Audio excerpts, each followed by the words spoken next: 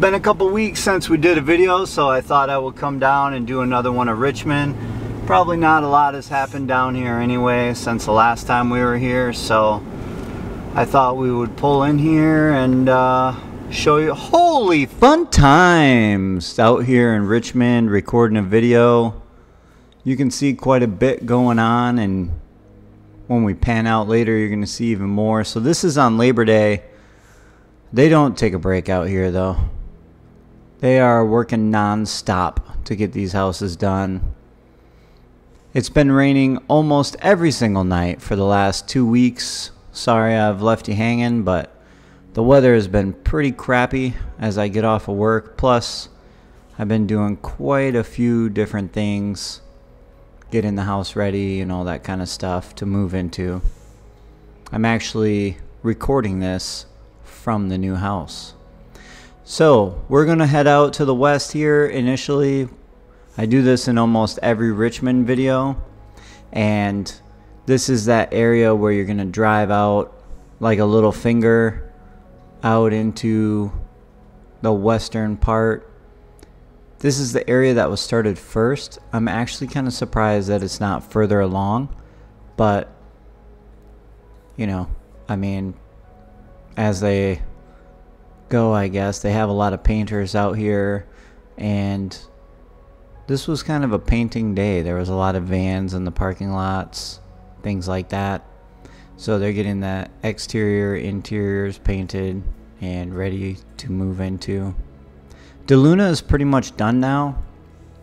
So the focus is over here at Richmond. And as we pan, you can see all the houses in the background now. Those were not all there last time. Actually, when you pull in right off of uh, 44 onto Meggison, you can see the blue roofs being put in to the Richmond area right as you get onto Meggison there. So Meggison runs from the right of your screen up to the left. That's where it hits Brownwood. It also has a Brownwood bridge there so the golf court the golf courses. The golf carts can cross Highway 44 and into Brownwood Square. You can see they're lining up the porta potties here, so you know this area is going to start being worked on next. That's a key feature of what's coming on. Looks like that one doesn't have a roof on it, so whoever uses that porta potty is going to get a little sunburn, you know what I mean? And then there's Lake Okahumpka off in the distance there. You also have St. John's straight ahead. That's the St. John's area and the Lake Okahumpka Rec Center this right here below us is one of the Richmond rec centers. If you come straight in off of Meggison on the first road south of Highway 44, this is all the way back. This is one of those village rec centers. The Clarendon Rec Center is toward the front, and they actually have the sand volleyball courts filled out. I know those were a deal breaker for a lot of people, either make or break, because they wanted those sand volleyball courts. If there wasn't sand volleyball courts in Richmond, I don't know how many people would have actually moved into Richmond. You can see they're fencing off quite a bit of this area. I think that's where the dog park is going to go. And that's why they're putting the fence up. Either that or they don't want you to jump in with the gators. It's one or the other. Definitely one of those two things. No promises on either. They might want you to jump in for the Gators. I'm not sure.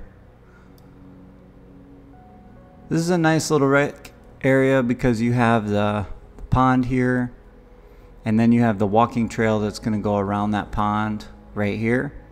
And this walking trail goes between these two marshy areas. So you have the pond on one side and then the marshy area on another. This is kind of a cool looking area here.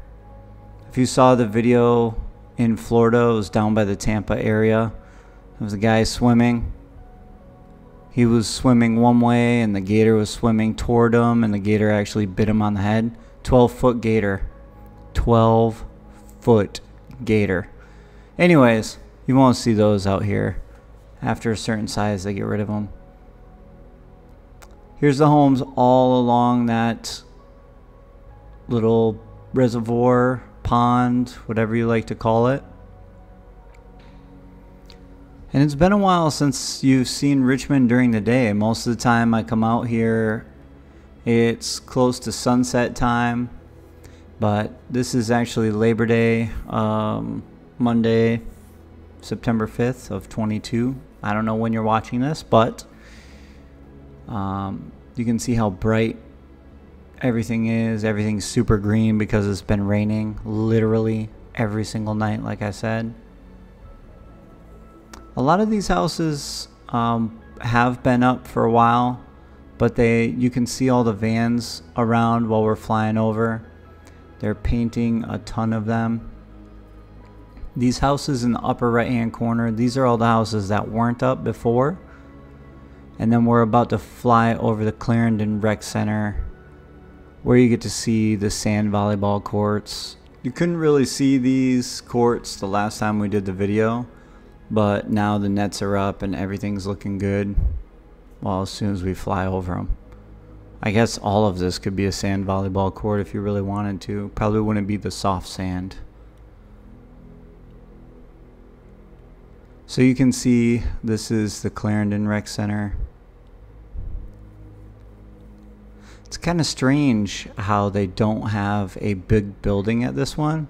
It's more outdoor recreation. Uh, there is the outdoor volleyball courts there, and then you have the tennis, pickleball courts also, and of course the shuffleboard and cornhole and all that stuff as well. Look how bright the sand is for the sand volleyball court. It's pretty crazy.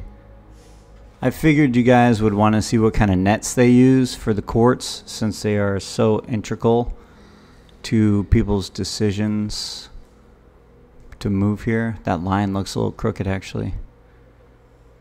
There's a guy laying some asphalt or whatever the surface, laying some surface for the pickleball tennis courts there. These are dog cages. Just kidding, they're not dog cages. They're for kids. Just kidding, they're not for either.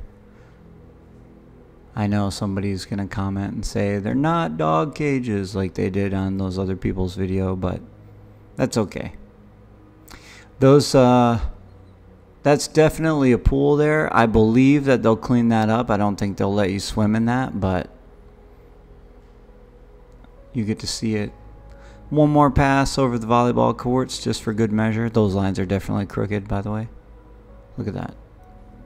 And here's the the new area that they're building up.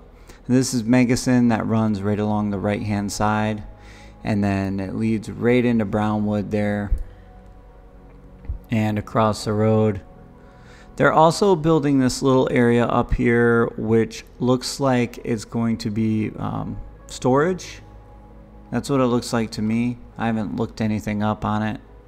I never do, just in case you guys are wondering. I never look at what's actually going up. I just go by either villagesnews.com or if somebody gives me a tip or tells me. But these look to be like storage areas, which I mean, why not? Everybody needs more storage so you can bring more things down here. So you can pay more money to keep a bunch of stuff in places.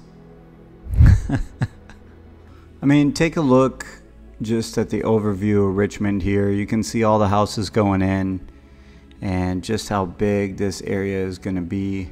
We're going to take a look toward the south. We're going to fly over all of this and then head down and see the Richmond Pitch and Putt and you'll see the Water Lily Bridge and what I call the Fortress of Solitude if you've never watched a video before of Richmond.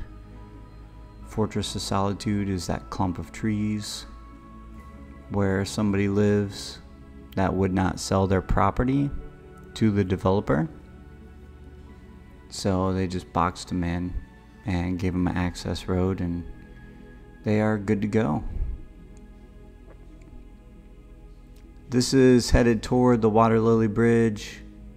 You can see it in the background there. You can also see Richmond Pitch and Putt, which goes along the corner of the turnpike, Meggison, St. John, runs all the way in between all of those things.